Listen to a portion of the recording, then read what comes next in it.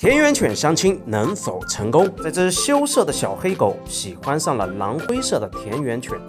小狼灰表现得非常主动，它已经到了走水的好时期。这几天正是相亲的好时候。但是问题来了，这只小黑狗应该经验不是非常丰富，它能否瞬间变成熟，直接顺利拿下狼灰犬呢？一切都是未知之数，咱们看吧。小狼灰表现得非常主动，小黑也想进入实质性的阶段。从他的表现来看，经验的确是非常欠缺，没有找到正确的方法。如果找一只有经验的狗来三下五除二就能将它拿下。大家仔细看一下狼灰犬的尾巴，它已经开始偏到一边了。这种情况就是等这只小黑狗进入实质性的阶段。